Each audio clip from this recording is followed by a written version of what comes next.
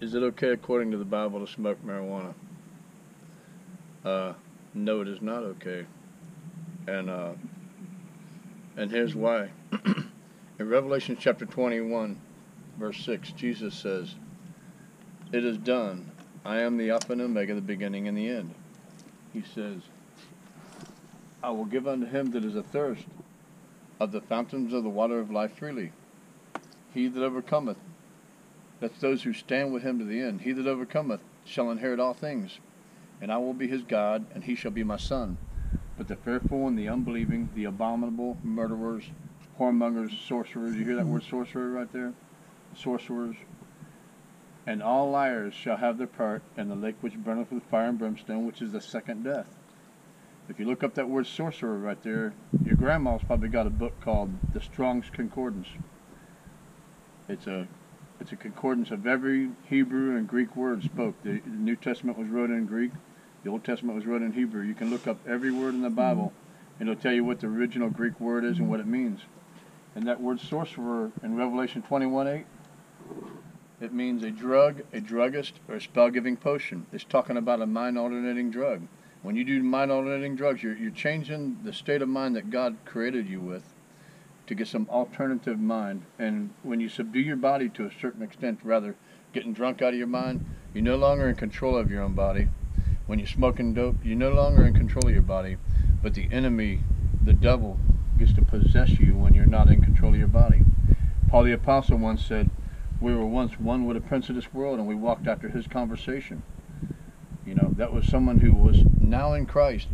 Before we became in Christ, before we surrendered to Jesus, we were once one with the prince of this world. We walked there after his conversation. We walked after the things of the flesh, you know. And here's the thing, man. You can't smoke marijuana and serve Jesus Christ, man. And uh, Satan would get you to be bound on a dandelion if he could get you to be addicted Mhm. to it. If he could get you to be so in love with it that you're willing to be obsessed with that's the most important thing in your life. And uh, man, secondly, marijuana destroys your body. It destroys your brain cells, man. And uh, it's just a tool of Satan to keep you in darkness, really. But it, it destroys your brain cells, man. The moment you start smoking it, and as soon as the THC hits your body, it starts melting your brain cells.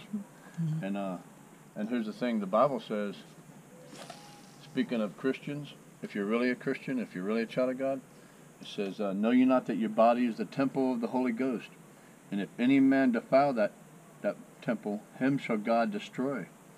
You know, you want God to save you, you want God to destroy you. You know, one time Jesus knew that he was about to be crucified. He knew that that Judas had went to go betray him. And uh, and he said to his disciples, he said, "The prince of this world cometh, but he hath nothing in me." He knew that Satan was coming to try to kill him. Okay, but he said he has nothing in me. He didn't have any legal ground in his life, man.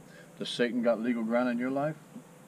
Go ahead and smoke pot. That leaves mm-hmm. that leaves the enemy legal ground in your life. Go go lust after some other woman that's not your wife. Go look at pornography, man. If you do, you're just opening up your body, and you're leaving you're leaving Satan legal ground to possess you, to give you a spirit of lust, to to dominate over your life. You know, Jesus said, for this one reason was the Son of God manifested that He would destroy the works of the devil. He wants to destroy the works of the devil in your heart, man. He can change your heart. He can He can create a clean heart in you.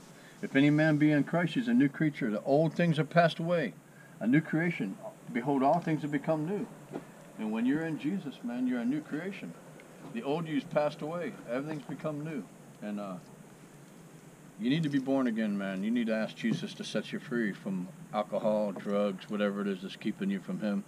And you need to say, Lord hmm. Jesus, I surrender all to you. You can't just quit all these things, man. You don't have the power. In John chapter 1, verse 12, it says that Jesus came unto his hmm. own. He came unto his own, but his own received him not. But as many as received him, to them gave he power to become the sons of God, even to those that believed on his name, which were born, speaking of a second birth, not of the will of man, nor flesh, nor blood, but of God. Speaking of being born of God. When someone says, Lord Jesus, come into my life, save me, Lord, set me free, they literally become conceived of the Holy Spirit. They're no longer mm. their own body now. They no mm. longer possess rights to their own body. Because the, bo- the body we now live in, we're supposed to live dead to this world and all of our lust and all of our lustful thoughts.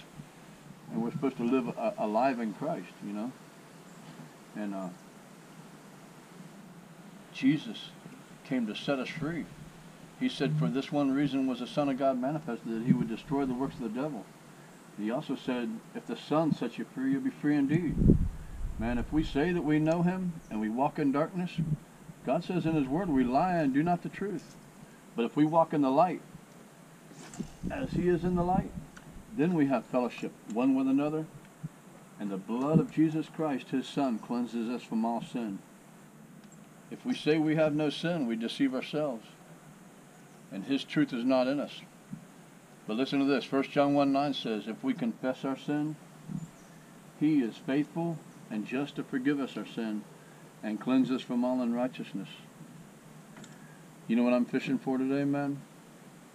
You, man. You're the one I'm fishing for today.